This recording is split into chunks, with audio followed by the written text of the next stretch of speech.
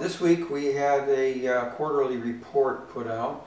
It was a couple months late as usual, uh, speaking to the fact that the department doesn't get things done well, doesn't get them done on time.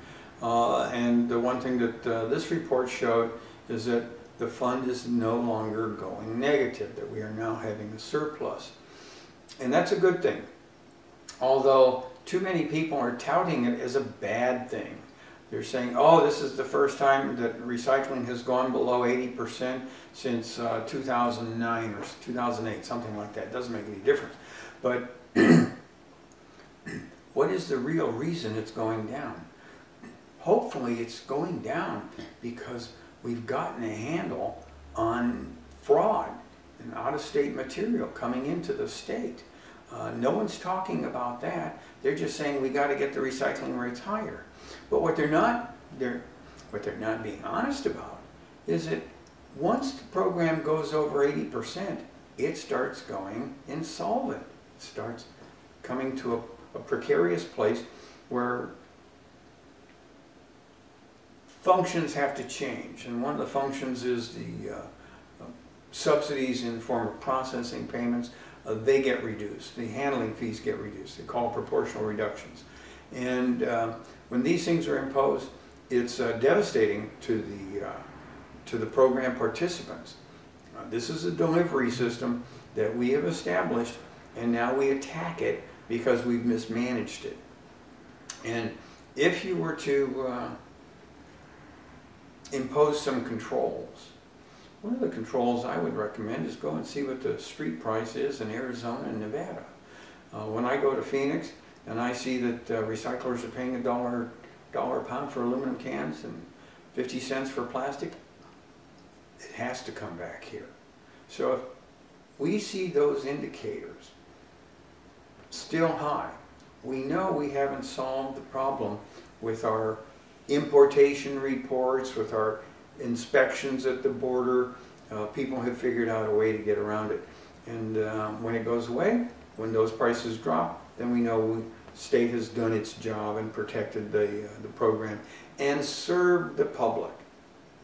Uh, let me go into this now. Public servants. They're public servants. These people are public servants. And they're to serve the program. But they don't serve the program, in my opinion. I was joined in that opinion by Judge Diane Vorder of Sacramento, who in a case with USA Recycling uh, made a determination that uh, the department was way out of line.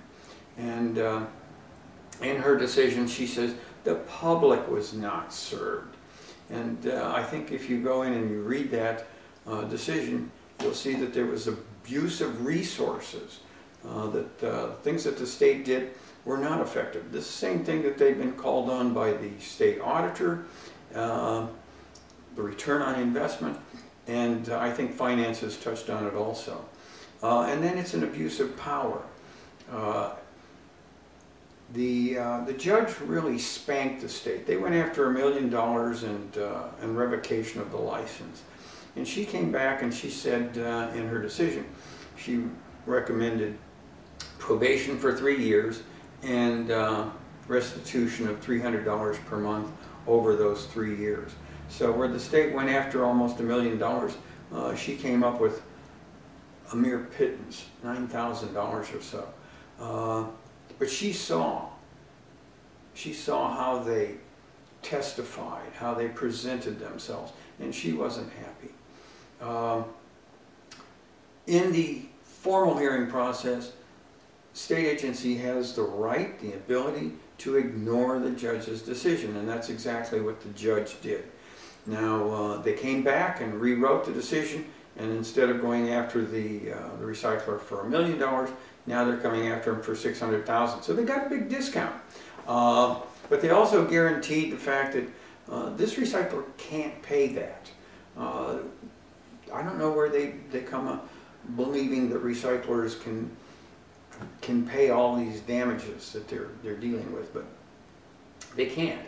And the statute says that they must consider the ability to pay. They ignore it. So what it's done is it's ensured the state's going to incur more expense because they're going to have to defend this now in Superior Court. Uh, we hope that the, uh, the fund stays solvent. Uh, we hope that uh, they learn how to get these reports out quicker and uh, that we can make use and make sense of them. Uh, the one thing we found out in the first audit in 2010 was they weren't very good at doing the statistical analysis and that uh, everywhere they looked they found ineffective management in the program.